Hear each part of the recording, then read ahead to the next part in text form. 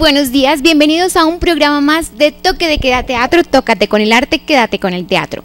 Hoy tenemos un tema muy importante para todos los jóvenes que nos están viendo. Hoy vamos a hablar de drogadicción. Así que, pues sin más, démosle bienvenida a nuestra cápsula de hoy.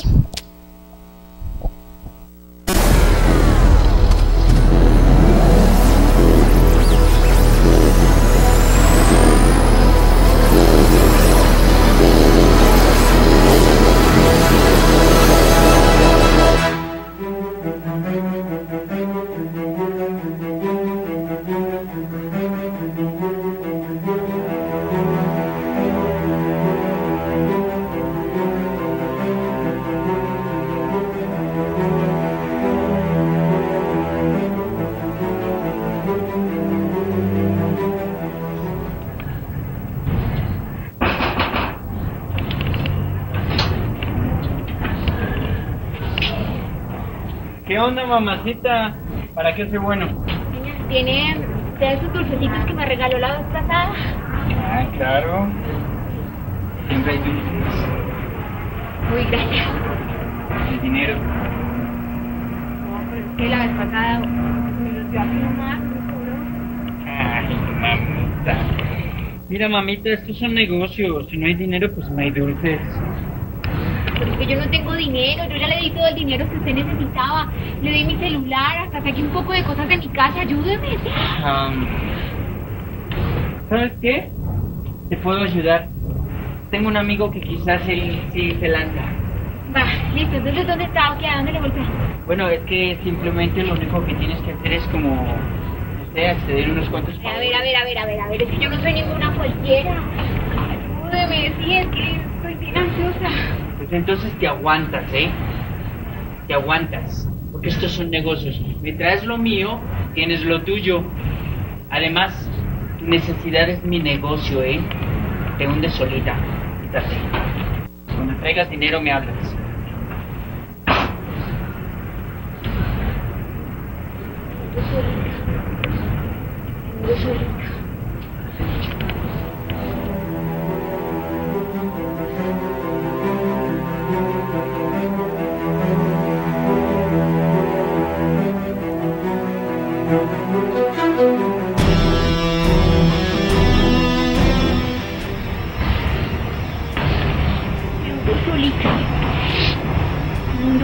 Solita, me hundo solita. Me hundo solita.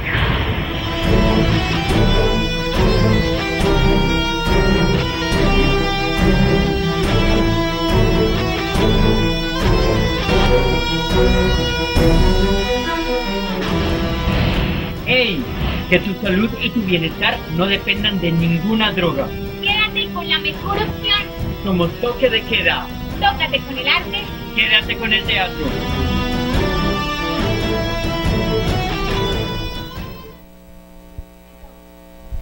Bueno, eh, bueno, como ya lo vieron, vamos a hablar hoy de drogadicción. Y antes de eso, eh, antes de presentar a mi super invitado del día de hoy nuevamente, quiero eh, dar a conocer una encuesta que se realizó el año pasado, en el 2016, por el Instituto Nacional de Psiquiatría eh, y que se presentó el 25 de enero. Resulta que más de 713.963 alumnos de secundaria y bachillerato han tenido contacto con alguna clase de droga. Y de este número, el 6.8% total a nivel nacional necesita de alguna ayuda o apoyo psicológico para no caer en problemas eh, ni de salud ni mentales eh, por la drogadicción.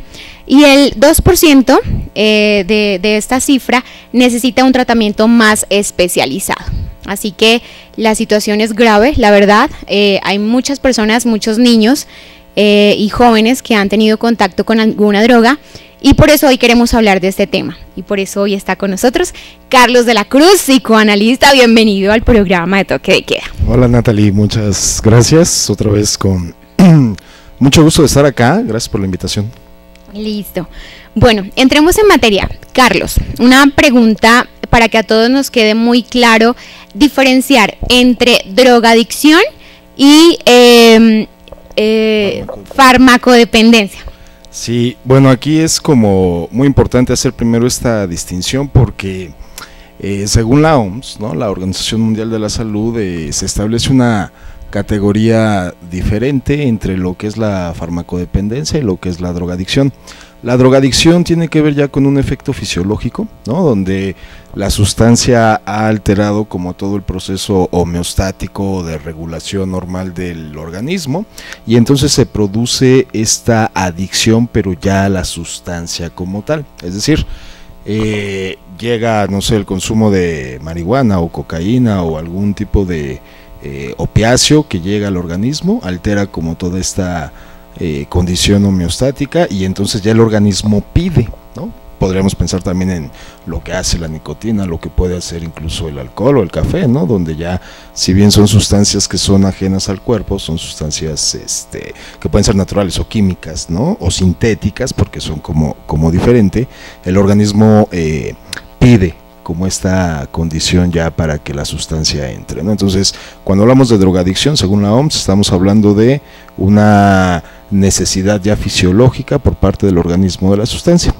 En cambio, cuando hablamos de farmacodependencia, se va a establecer también esta dependencia, pero es psicológica. Es decir, el fármaco, ¿no? como tal, o la sustancia, eh, no necesariamente está interactuando a nivel del organismo y no se presenta una necesidad fisiológica, pero en cambio es la psicológica. Entonces, cuando hablamos de adicción y hablamos de farmacodependencia, evidentemente el trabajo más fuerte que se tiene que realizar apunta justo a, esta condición de la farmacodependencia, porque trabajar fisiológicamente la separación de la sustancia del organismo eh, no es que sea fácil, pero no, no eh, interviene en procesos como tan complicado, lo que se puede conocer como esta parte de la desintoxicación. El problema evidentemente radica como en toda esta dependencia psicológica que se genera el fármaco y que eso es lo que hace que eh, la persona pueda entrar a un proceso de rehabilitación donde esa desintoxicación se puede producir en un lapso determinado de tiempo, dependiendo de la sustancia, ¿no? Entonces se puede curar eh, de esta parte eh, fisiológica, pero el problema siempre va a insistir en la parte emocional y en la parte sobre todo psicológica. Ok, perfecto. Ya teniendo claro eh, las diferencias de cada una, vamos a hablar de los motivos o, las causas más frecuentes que podrían tener los jóvenes y también pues los adultos, los niños, cualquier persona para llegar a ser dependiente de, de una droga. Bien, sí, esto que acabas de decir es como muy importante porque podemos creer que la adicción, eh, la farmacodependencia o la drogadicción está como centrada únicamente en una particularidad de, la vida, ¿no? Este, se ve como una posición vulnerable, sobre todo la parte de la adolescencia, porque es justo en la adolescencia donde el chico o la chica que está eh, en una reestructuración de la personalidad, pues se ve como bastante influido por todas las condiciones de los pares, ¿no? Pero sin duda este problema puede llegar en cualquier momento de la vida, ¿no? Insisto, ubicamos a la adolescencia como un grupo vulnerable, pero se puede presentar también en, en cualquier momento de la, de la vida. ¿Cuáles serían las causas? Pues bueno, podríamos como diferenciarlas, ¿no? Este, como factores sociales, podríamos ubicar factores familiares, ¿no? Y por supuesto, como toda esta condición eh, personal. Cuando hablamos de un factor social, me voy a permitir especificarlo en la adolescencia porque, pues bueno, es para, para nuestro público a donde va dirigido.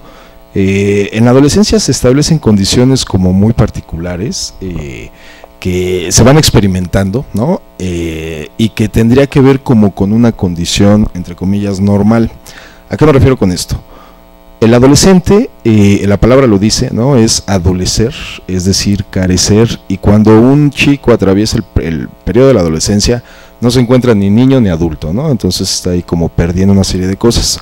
Pierde el cuerpo de la infancia, ¿no? Este, pierde a los padres de la infancia también, ¿no? O sea, no es igual los papás que siempre estaban con él y que ahora se van a, a posicionar de una forma diferente, entonces el chico va atravesando como una serie de pérdidas importantes.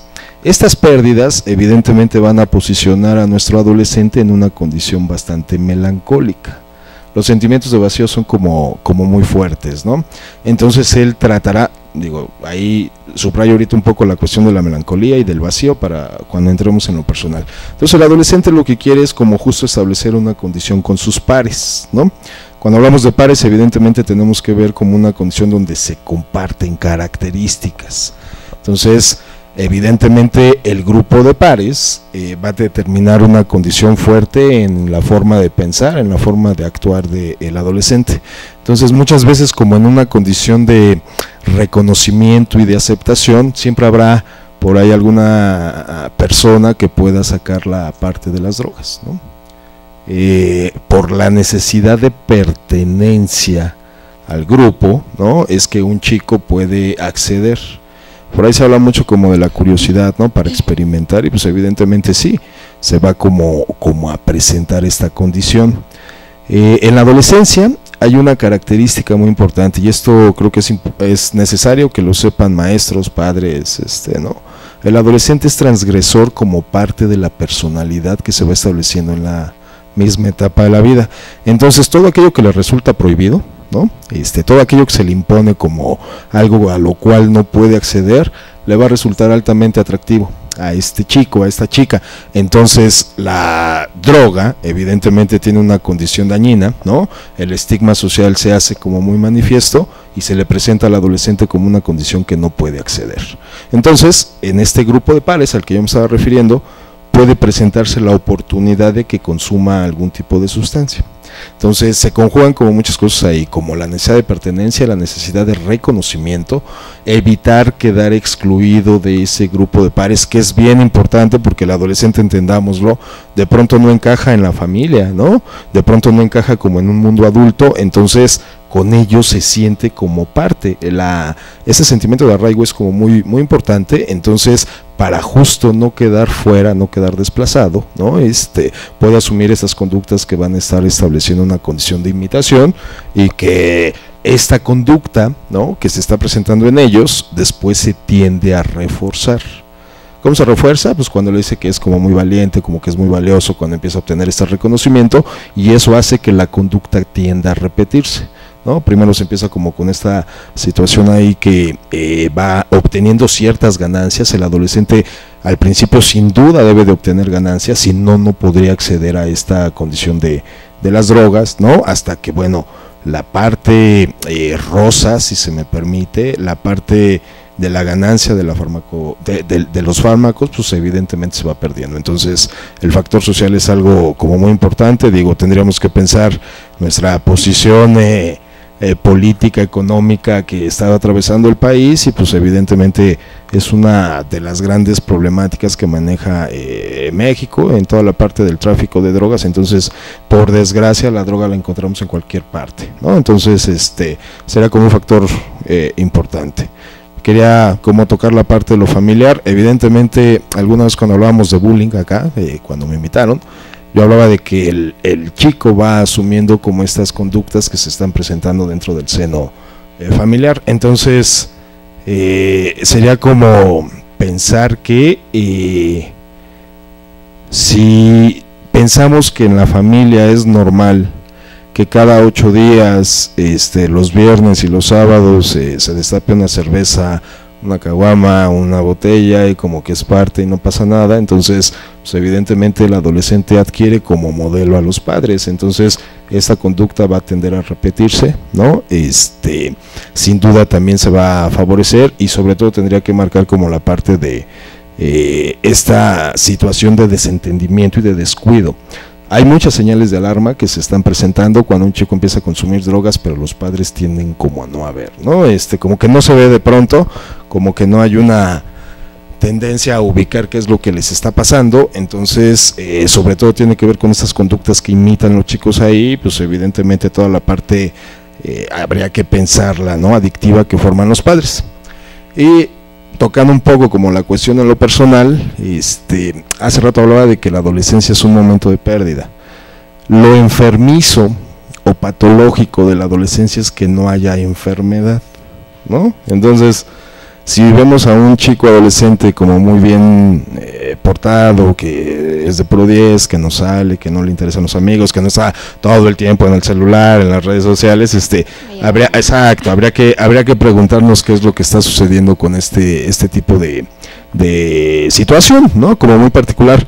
Eh, la adolescencia es un periodo, insisto, al menos desde la parte psicológica, de mucha pérdida. Entonces, no es como tan eh, favorable para muchas personas. Entonces, estas pérdidas van determinando que el chico, que el adolescente establezca una condición frecuente de sentimientos de vacío. Entonces, evidentemente confrontarnos, eso lo vivimos de niños, de adolescentes, de adultos, entonces eh, confrontarnos con ese vacío de pronto existencial no es nada fácil y tendemos a, ubicar como estrategias, evidentemente, que nos exenten de la posibilidad de confrontarnos con esto. Algunos pueden agarrar el deporte, otros el trabajo, ¿no? Y hay quien de pronto agarra la droga.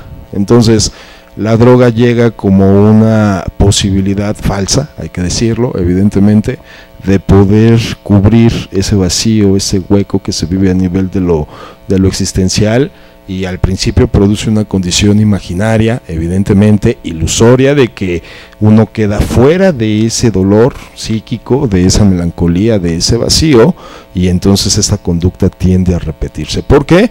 Porque evidentemente eh, exenta al adolescente de confrontarse con algo que hay que plantearlo desde esa perspectiva, la adolescencia es algo que lo va marcando, ¿no? Entonces, eh, eh, yo hablaba hace rato de que es una opción imaginaria, ilusoria, porque evidentemente se van presentando como situaciones cada vez mucho más complejas hasta que de una posición de, dependencia psicológica se pasará a una condición ya fisiológica y el, tema se convierte complejo, ¿no? Ok, bueno, tocaste dos temas muy importantes. Em, uno fue el entorno social.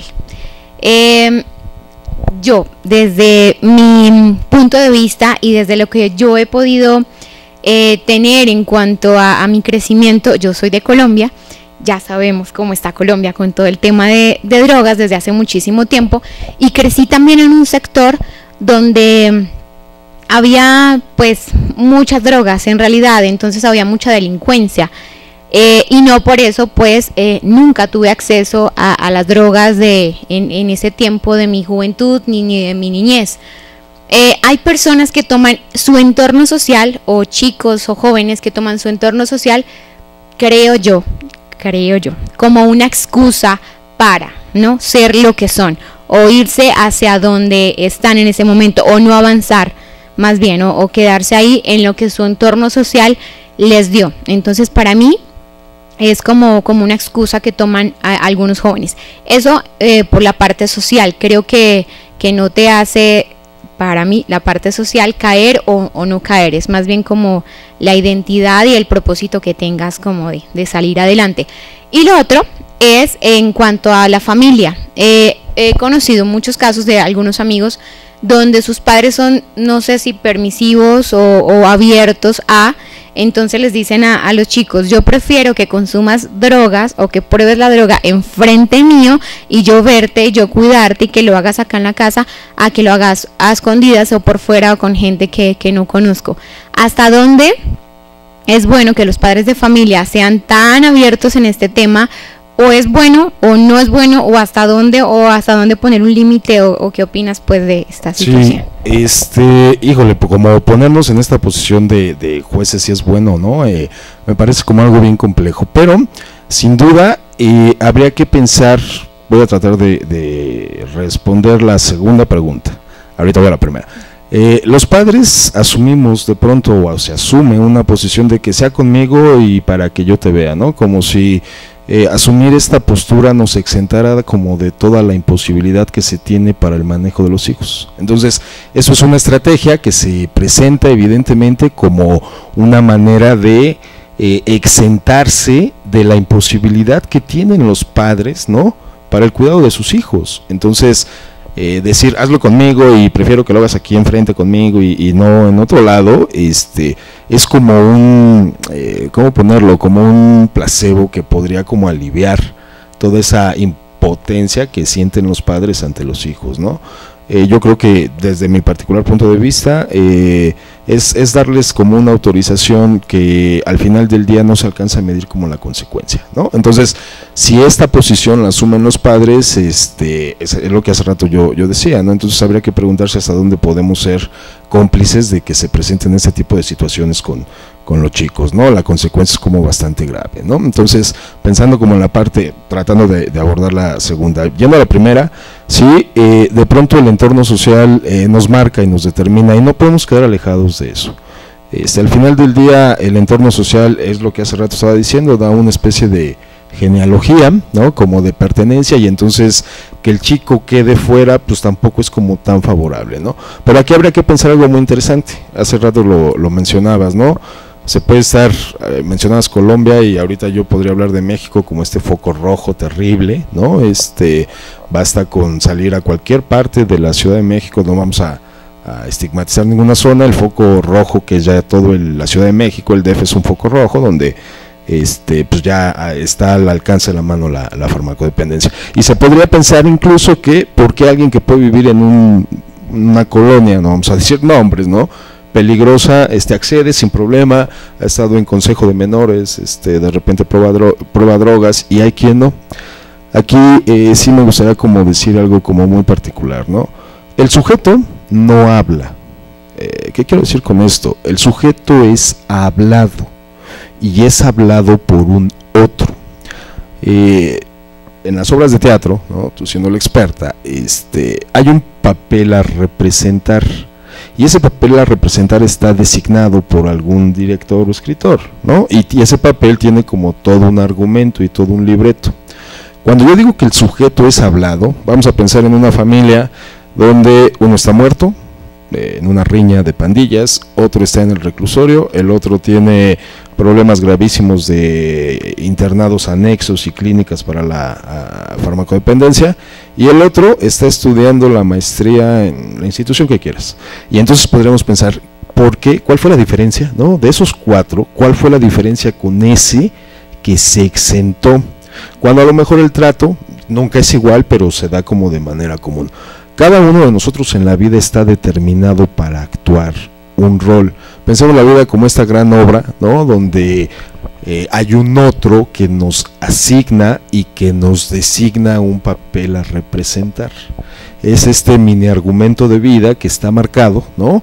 Y que determinará que alguien pueda estar del lado del muerto. Entonces le dicen, este, tú, eh, Chuchito, serás el protagonista del muerto, tú del Salvador, este, María, ¿no? Este, tú Pedro serás el enfermo y tú serás el que pueda vivir. Entonces son posiciones en la vida que se van transmitiendo de manera inconsciente, evidentemente por parte de el entorno donde se crece y entonces tendemos, ¿me explico?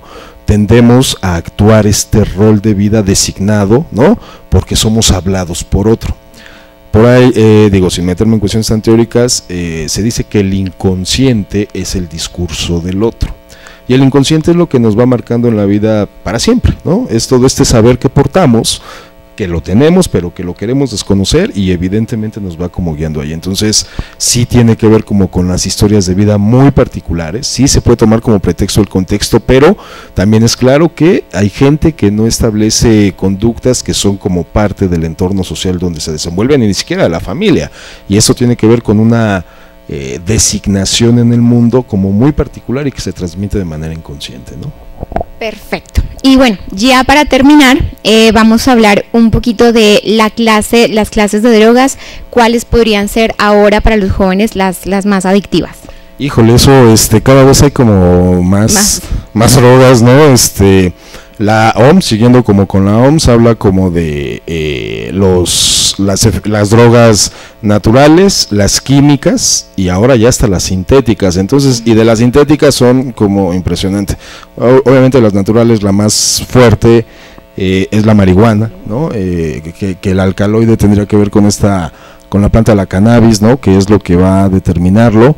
En las químicas, al menos en México, lo que conocemos como piedra, ¿no? Este, la cocaína, están como químicas también los solventes, el famoso PVC que se le llama acá activo, ¿no? Este, eh, y las sintéticas, pues bueno, desde los poppers, este, eh, tachas, ¿no? Los ácidos, este, y cada vez van como evolucionando las diferentes drogas, pero también eh, la forma de administrar las drogas, ¿no? Entonces, este, sabemos que la droga tiene que entrar al organismo y esto se va a presentar evidentemente por una condición de, de la mucosa que pueda absorber la droga y entonces imagínate, en cada parte de nuestro organismo que tenemos una mucosa, pues puede ser un, una vía de acceso, entonces, eh, es inimaginable todo lo que se puede ya como pensar. ¿Cuáles son las más adictivas? Evidentemente tiene que ver con las sintéticas y las químicas. Ok. Cuatro, em, eh, ay, se me fue la palabra, eh, cuatro consecuencias de la, de, la adicción a, estas drogas. Sí, evidentemente como toda sustancia ajena al cuerpo y dañina va a tener eh, un deterioro a nivel de los diferentes sistemas. Eh, lo que va, eh, lo que ataca preferentemente y de manera directa es el sistema nervioso central, ¿no? Y parte del sistema nervioso periférico.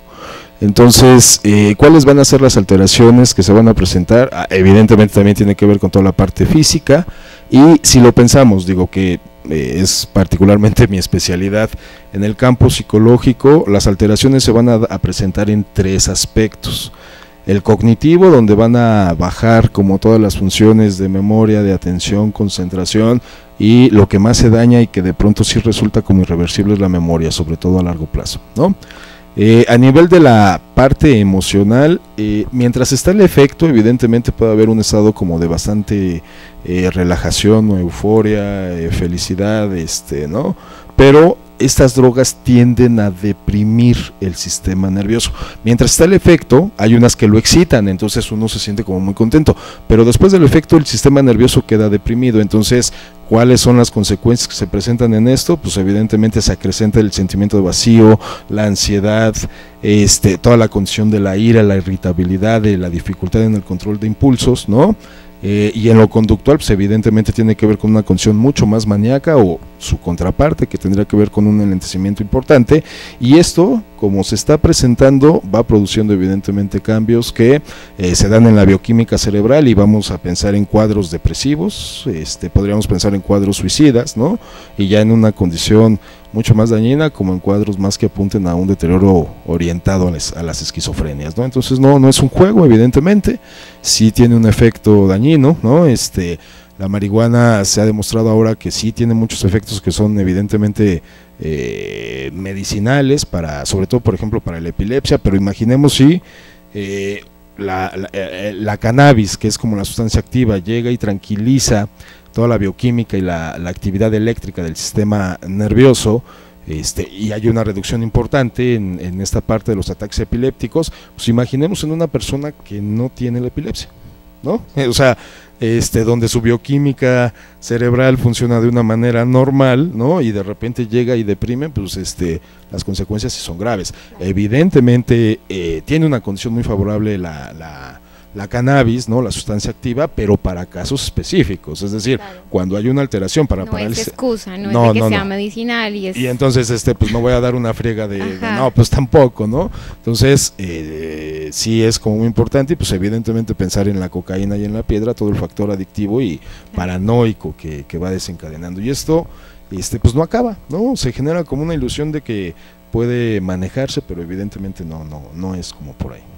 Bueno, pues entonces para ustedes que nos vieron hoy, ya se sabe, retomo lo que acaba de decir eh, mi invitado, no es un juego, no es eh, controlable, eh, puede llegar hasta la muerte, así que ustedes ya saben qué decisión tomar para sus vidas. No necesitan de, algo más que les dé felicidad ni, ni nada de esto, más bien si necesitan eso busquen ayuda por otros lados, hablen con sus familiares o con un profesional en este caso y, y, saquen todo eso de ustedes en vez de meter otras cosas a su cuerpo que los van a contaminar. Muchas gracias por estar con nosotros. Esto fue Toque de Queda Teatro. Tócate con el arte, quédate con el teatro.